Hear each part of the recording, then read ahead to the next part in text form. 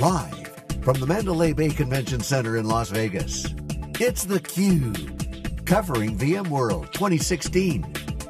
Brought to you by VMware and its ecosystem sponsors. Now, here's your host, Stu Miniman. Welcome back to theCUBE at VMworld 2016 at the Mandalay Convention Center here in Las Vegas. I'm Stu Miniman, happy to welcome to the program a first-time guest, George Hope, who's the VP of Global Channels with SimpliVity. Thanks so much for joining us. Thanks for having me. All right, so VMworld uh, is not only a user conference, of course, VMware has lots of channel partners that are here. Uh, VMware is a critical uh, partner of SimpliVity. So, you know, tell us kind of how how's the week been for you so far? The week's been great. I mean, there's no better uh, there's no better place to uh, socialize with your with your uh, your partners, right? To get out of the business setting a little bit. Of course, you have business conversations, but you you have an opportunity to really get to know them better and, and understand what you can do to help them, and and certainly uh, you know being being able to do it rapid fire uh, during you know during a three day period, it's a lot easier than flying around the country. Yeah, so you know, sometimes you talk about drinking from the fire hose. Um, I, I, think we are kind of submerged underwater uh, because you know there's no shortage of technical knowledge. All the people are here. Uh, maybe there's a little bit of extracurricular activity too, um, or you can just spend all night talking to just some of the best people in the industry here at the show. Exactly. So to tell us, uh, you know, kind of your role. Uh, you've been with the company three years. You know, how how's how how important is the channel? The, the channel channel's critical for us. Uh, from uh, from the top down, it's very um, very interesting how much support we have at the CEO level down uh, for for the channel program. We're 100% partners. We've always been 100% partner. We intend to be 100% partner, uh, and that's really resonated very well with the partner community. The partner community can invest in a SimpliVity relationship and can invest in having building the capabilities, and uh, and know that we're not going to pull the rug out from under them at any point right? They need they compete with each other rather than competing with the mothership. All right, can you sketch out for us kind of the, the breadth of the program, how, how you become, uh, you know, channel partner for SimpliVity, you know, different levels, things like that? Yeah, the, the beauty of the program uh, is in the simplicity of the program, right? So we really... We would expect nothing less We, we can't get away with complicating channels if we're set out to, uh, to simplify IT. So we try to make it as simple as possible. Our, uh, our mantra is simple, efficient, lucrative, loyal. Just happens to spell sell just was a coincidence, just worked out that way. But the simplicity of it, you shouldn't have to hire somebody to manage our portion of the program to understand how to make money. Should be pretty clear how you make money. Yeah, that's a great point because look, when we're talking on the channel, uh, you know, the old adage is it's a coin-operated business. When you exactly. talk about it, when we started talking about just basic convergence, there were some people on the channel that was like, like I make millions of dollars racking, stacking, cabling. You know, as we simplify the environments, how do I make money? There's you know that change in the channel. Yeah. Bring us up to speed as to you know what you've been doing, how you know companies are excited to you know partner with and offer the SimpliVity solutions. The partner, I think the, the partner community really responds to uh, to being part of the activity, right? I've always said the best way to learn how to sell SimpliVity is by selling SimpliVity, and it's not uh, it's not really intuitive what we do, right? We uh, we are very very different in the way we approach simplifying IT, and we're very very different than all of the the other so-called hyper-converged uh, vendors out there. So we really need to take the time to explain to customers exactly what we do. And if we do it with a partner sitting with us, and the partner sees the excitement on the face of the customer and sees that it really is truly resonating and they uh, there's interest there, they suddenly want to be that trusted advisor. So activity begets activity, and the more uh, the more they do, the more they want to do, and that's that's typically how we win over uh, the people in the partner community. All right, George, let, us walk through some of the technology pieces that go with what you're doing. So first, let's start with VMware. Mm-hmm. You know, how, how, do you put those pieces together, work with the channel? Of course, the channel's been critical since the earliest days uh, of VMware. Yeah, so we, I mean, we naturally targeted uh, VMware partners out of the gate. Um, I, prior to coming to SimpliVity, uh, I worked for EMC for 17 years, or 68 quarters, as I fondly remember it. Um, the, the the partners that I used to work with were the natural partners to start to work with. A lot of the people that we hired have background with Cisco, NetApp, EMC, so uh, we have a lot of relationships with those types of partners. So uh, right out of the gate, we had the perfect ecosystem to go approach and start to uh, to take them through what what differentiates our product. And then uh, as, as we found the right partners, uh, we gave them the right amount of training, the right amount of support. And as you mentioned earlier, it's, um, it needs to be a lucrative program, right? These guys, like you said, are coin operated, and we have to be the best return on time.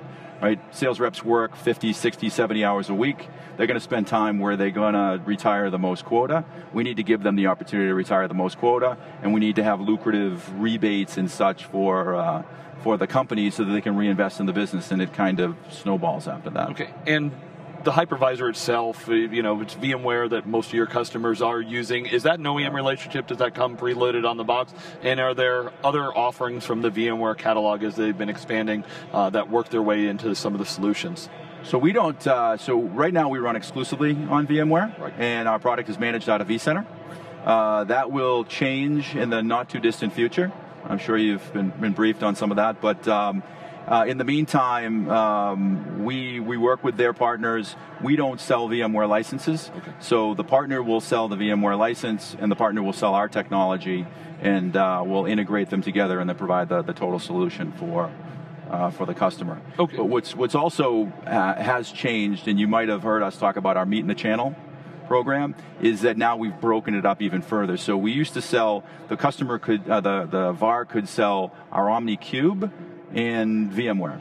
And now uh, we've given them other options for the OmniCube where they, if they have a preferred server vendor like Cisco or Lenovo, and they would rather buy the server from the server vendor and buy the software from us, then they can buy the VMware, our OmniStack technology, and their server of choice, provided we've qualified it, obviously. And then they will integrate those three together and sell to the customer. So we're trying to provide more and more choice, if you will. Yeah, I'm wondering if you could help us unpack that a little. When I talk to most users of SimpliVity or other hyperconverged mm-hmm. uh, technologies, most of the time the customer doesn't care that much about the underlying compute. They might have had some special cases, mm-hmm. so you know, are there certain users that are just, you know, I'm dyed in the wool Cisco customer, I want it, or is it the channel partners that are, you know, helping to drive that decision? How do we determine kind of the traditional Dell-based offering that you have, Cisco, Lenovo, or or other options? It's kind of a combination of both. Um, so there are customers that really have a, a server preference. Uh, we've never we've never lost a deal uh, because we didn't run on their server of choice. So clearly they see value in the software. Uh, but we like to give them choices because if they have a Cisco environment and they're using UCS Manager, then they're going to want to continue to do that, and we don't want to wheel in something that doesn't fit into their environment. So we give them the opportunity there. And a lot of the VARs have a bias as well. Right, so if you look at some of the VARs, if you are uh, if you're a Cisco VAR, you may not want to put Dell technology in that account. You'd rather go to your, your buddy over at Cisco and say, hey, I can run the servers through you. Let's all work together and collaborate, and it's a win win for everybody.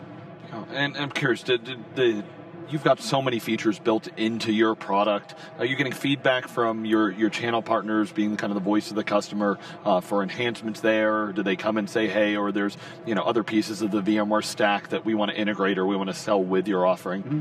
Well, we have integration for uh, for NSX. Okay. Uh, we have integration for vRealize. We have integration for um, uh, for UCS Director. So all those things are, are packaged in. Uh, but we're, um, you know, we're, the, the most requests that we're getting today are for additional platforms, oddly enough, because they do have, a, you know, it could be a, a VAR that has another preference outside. For instance, um, some of the VARs that sell Dell want to break up the OmniCube and buy the Dell separately. So we've we've allowed them to do that as well. Okay, right. If they want to, uh, if they want to leverage those other relationships, because the more people that want us to win, you know, the higher likelihood we're going to we're going to have to be be able to win, and uh, and we let the we let the VARs kind of control that, right? It's the VARs that are our lifeblood that bring us into these opportunities. So we want to give them the ability to uh, to uh, stay in their their selling motion and leverage some of the relationships they already have, rather than take them completely out of their stream. Yeah, most people uh, that don't understand the space, a lot of times they said, "Oh, there's you know, it's these boxes. It's you know, the, the you, know, you hear appliances and you think yeah. that term. Uh, at its core, SimpliVity is software. Uh, there, there is a controller card for you know some of the advanced functions and accelerator, but you know, it is kind of software at the core of what you're doing there. Yeah, yeah, it's software. We uh, we just wrote uh, we wrote software that needed a little bit more horsepower. So the accelerator card is just that, right? It, it replaces the need to throw a bunch more servers added. Other technologies have a lot of server overhead to run. When you're taking a, a technology that that used to just manage the apps and used to have a, a specialized device that was a, a, server that managed the storage. Now you have the server has to do both. Uh, sometimes it needs a little help. All right, so George, what about when we talk about cloud? It was kind of the morning keynote on day one from Pat Gelsinger. How does cloud and service providers fit into kind of the channel play that you have? Well, we uh, we've recently announced a cloud service provider program, and what we've noticed that there are there are some pure cloud service providers, uh, but then there are a lot of our uh, our VARs that want to add some as a service offerings. They might want to add DR as a service. They might want to desktop as a service. They might want to just you know uh, have infrastructure as a service. Uh, so we've seen a lot of crossover between the service provider that wants to have a selling relationship as well, and the selling partner that wants to have an as a service offering. So we've offered up a, a uh, cloud service provider program that kind of, I hate to say, combines the best of both worlds, but it gives you the ability to ring up credit with uh, with SimpliVity in either and be able to combine them for benefits. So if you do both, uh, we want to encourage you to do both and take advantage of some of the, the benefits that the program has. And we, we see that um, that we can offer some of our traditional VARs and some of the service providers a, a, very, very competitive platform to be able to offer as a service on and keep some of these workloads from going off to, to the traditional, you know, public cloud, so to speak. Yeah, George, I'm, I'm curious, what's the pulse when you're talking to kind of your traditional channel partners, the ones that, you know, have sold storage, maybe they sold UCS, uh, you know, what, what, do they think of public cloud service providers? Are they concerned? Are they, you know, plugging along with what they're doing? What do they think? I think uh, I think it's a little bit of both. I, I, I think it uh, it's definitely eating away at their business, uh, and I think they start they're starting to see a world where uh, they either have to be part of it or uh, or potentially put their business at risk. So I think um, I think some of them are embracing some of those cloud offerings and selling them. Uh, some of them, and then they're they're selling the on-prem as well. And we think they, we give them the ability to kind of give uh, give their customers the economics of what the cloud would offer, but still that control uh, and that efficiency and elasticity, performance, and everything that uh, that they would uh, potentially give up if they went to the cloud. All right, so George, you've done a lot of these channel partners for many years. What's the vibe at the show? You know, they, do you think they're optimistic about the future? Any kind of feedback on kind of the Dell EMC VMware thing? Is that kind of a top of mind item for them? What, what, what, what's the? I think they're just waiting for it to. Um, they're waiting for it to play out. I think the good news is that it's it's over now. I think I believe I heard yesterday that the China the China piece is all set. So Officially September seventh. They're uh, they're now. going. I think that's going to put a lot more people at ease. I think I think the uncertainty uh, was more of a cloud than than actually what's uh, what's happening. But I'm not uh, Nostradamus. I have no idea what's going to happen on uh, September eighth. But um, but I think the vibe around here um, we pay more uh, more attention to how can we accelerate some of these partner relationships? How can we give them a tool that helps them be competitive and resilient? And um, and we understand that they have other technologies that they have to deal with, and they've all been selling a lot of the legacy products that we're replacing.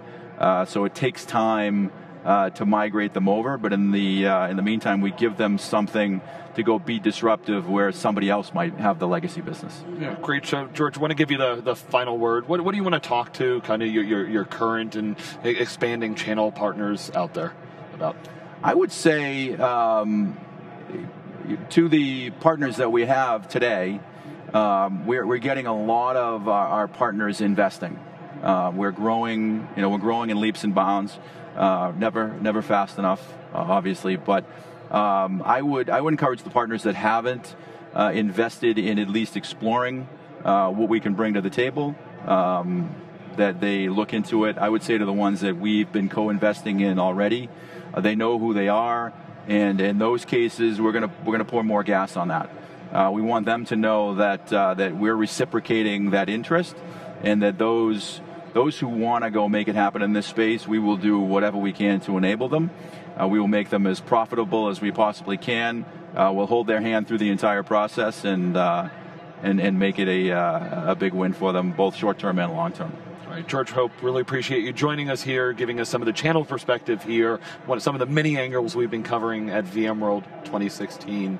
We'll be back with lots more coverage. Thanks for watching theCUBE.